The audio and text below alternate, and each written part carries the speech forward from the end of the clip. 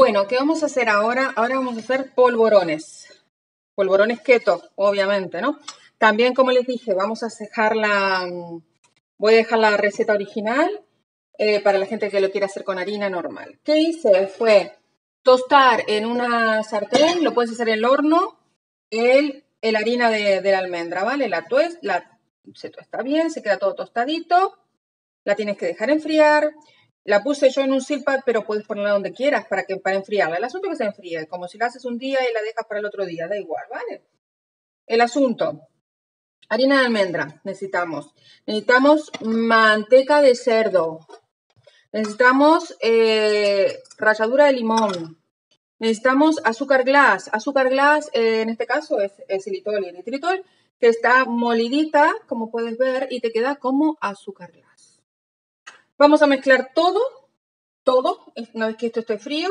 Va a quedar una textura de tierrita, básicamente. Lo vamos a ir viendo, ¿vale? Venga, lo hacemos. Una cosa, eh, a ver, tenía que comentarles algo respecto a esto y se me fue el baifo. Pues nada, ya me acordaré lo que era. Venga, hasta luego. Pues como dije, vamos a empezar a mezclarle. Tenemos esto que está fría. Acuérdense que la harina de almendras, me acuerdo lo que era, ¿eh? la harina de almendras tienes que tener mucho cuidado, tienes que estar al loro, súper al loro, porque se te quema, ¿vale? Se te quema y ya no hay marcha atrás una vez que está quemada. Le ponemos la manteca de cerdo. Una de las cosas que si tú no quieres ponerle manteca de cerdo, le puedes hacer con margarina, con mantequilla, pero lo original es la manteca de cerdo, ¿ok? La original.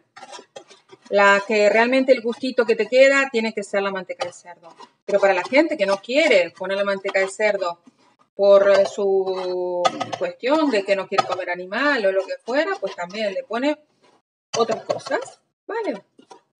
Pero la original es con manteca de cerdo. La he hecho con margarina y tampoco que quede muy bonita. A mí no me gusta por lo pronto, pero se puede. Le ponemos también las cáscaras, la, la ralladura de limón, Mezclamos. Bien, esto también metemos la mano, es que lo siento, pero hay que meter la mano en todo esto. Y metemos el azúcar. Vale. Le podemos poner un poquito de canela, también le vamos a poner, espera un poquito, ahora ya hice todo esto aquí. Y esto es un poco pringue. Entonces, venga, me lavo un poco de las manos y les muestro. Vale, tengo todo, entonces lo que hacemos es meter la mano directamente y empezar a mezclar. La única grasa que tiene esto es la de la, la, de la grasa de manteca. Vale, tiene que dar una textura así, toda... Esto tiene mucha manteca por lo que veo. Voy a ponerle un poquito más de harina, así que voy a tener que ponerle voy a tener que tostar otra vez. Voy a tener que tostar un poquito más porque me quedé corta. Hay que tener en cuenta que estoy siempre adaptando, ¿vale? Me quedé corta, quiero tenerla con un poquito más, un poquito más, este, tiene que dar un poquito más eh, textura de que se rompa más, ¿vale? Así que voy a contestar un poquito más y la seguimos poniendo. Bueno, cuando tenemos la masa de la almendra puesta, con la manteca, con, el clavito, con el clavo, no, con la canela y con un poquito de tal, le ponemos algún aglutinante, que sea raíz de arroz puede ser que es un almidón, o podemos ponerle psyllium. Si no tienes nada de esto, siempre puedes ponerle semillas de, eh, de lino, ¿ok? O un pisquín de goma santana también. ¿Sabes qué pasa? Que si no le pones nada de eso, esto en la receta original trae harina, harina normal, ¿vale? De harina común floja. Entonces, y eso tiene gluten, hace que una, ¿vale? Que así, a su vez que esté así, no pasa nada, porque también te queda en la normal, te queda así, pero eh, el gluten hace que una, ¿vale? Y después los polvorones te queden, quedan con la textura, que se rompen, pero quedan unidos. Si nosotros que no tenemos la harina que tiene gluten, porque la sabemos que la almendra no la tiene, si no le ponemos nada que nos una, nos va a quedar como una tierra. No ah, vamos a agarrar un polvorón que lo tengamos hecho, por ejemplo, así, y cuando lo vamos a agarrar, pues se nos va a romper todo, no va a quedar nada, no, no va a haber nada que lo una. Una cosa es que te quede en una textura eh, toda arenosa, bonita, que se rompa como es el polvorón, y otra que no puedas ni tenerlo, ¿vale? Así que lo que hacemos ahora es unir bien toda la masa, la unimos bien, la tenemos bien unidita, está todo bien mezclado, y lo tenemos que dejar reposar en la nevera.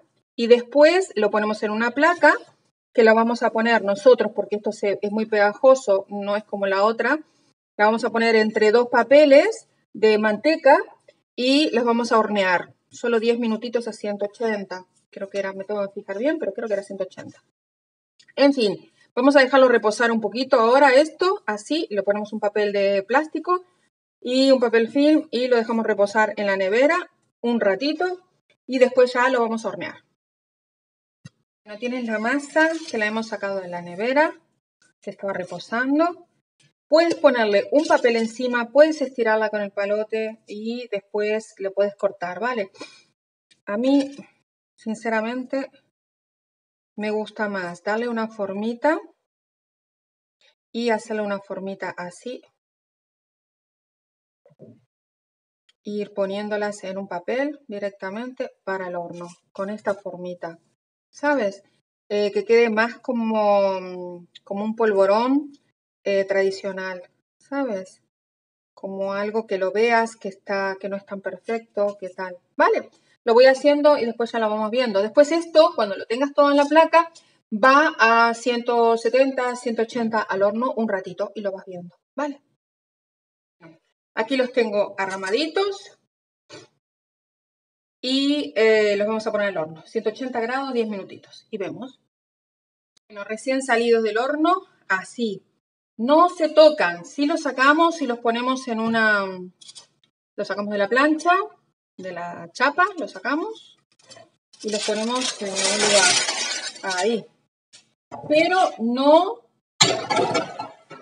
No los tocamos. ¿Ves? Este se corrió un pisquín aquí. y se deforma. Porque esta masita es súper, súper, súper floja. ¿Vale? Tiene que enfriarse, los tenemos que dejar enfriar sin tocar. Tal cual, si no se rompen, ¿ok?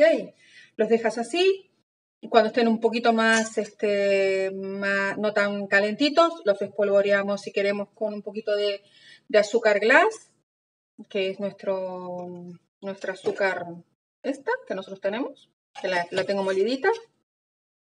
La espolvoreamos un poquito cuando esté más sequito o no, como quieramos, ¿vale? Lo ideal es ponerlos en papelitos, que vienen unos papelitos, si, a ver, si tú los quieres regalar o los quieres dar a gente, ¿sabes? Eh, o para tenerlos bien bonitos en casa, eh, los tienes que... Hay unos papelitos que vienen para envolver los polvorones y quedan súper monos. Pero no los tengo.